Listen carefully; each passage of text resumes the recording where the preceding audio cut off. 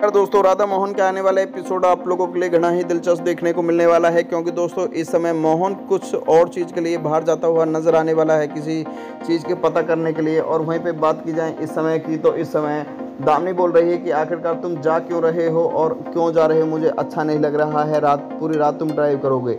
लेकिन दोस्तों, दामनी से साफ़ साफ़ बोलता हुआ नज़र आएगा मोहन कि तुम मेरी फ़िक्र मत करो, मैं देख लूँगा, मैनेज कर लूँगा। दोस्तों, आप लोगों को बता देना चाहता हूँ कि इस समय मोहन बहुत कुछ खोज निकालने की आ, सोच रहा है ताकि राधा के बारे में कुछ पता लग सके।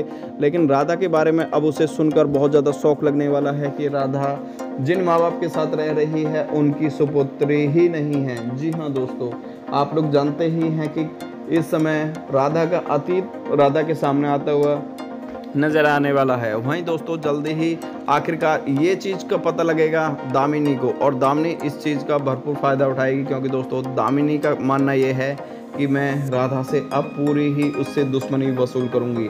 हालाँकि दोस्तों, मोहन ने बोल दिया है कि मेरे होते हुए राधा को इस घर में किसी भी तरीक़ा से टॉर्चर की ज़रूरत नहीं है। इस घर में कोई भी मेरे होते हुए राधा को टॉर्चर कर ही नहीं सकता है।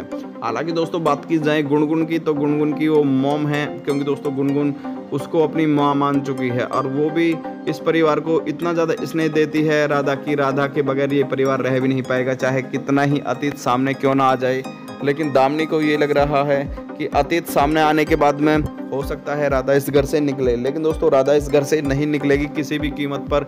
यह भी एक रियलिटी है, ये भी एक बहुत बड़ा फैक्ट है दोस्तों। साथ ही दोस्तों, आप लोगों के सामने मैं हूँ रोहित। नागर चैनल को सब्सक्राइब करने के बाद में आप लोग मेरी वीडियो को लाइक करें एंड कमेंट करके आप लोग मेरे को ज़रूर बताइएगा। इस कैसे लग रही है आपको मेरी वीडियो? उसके लिए दिल से धन्यवाद guys love you all of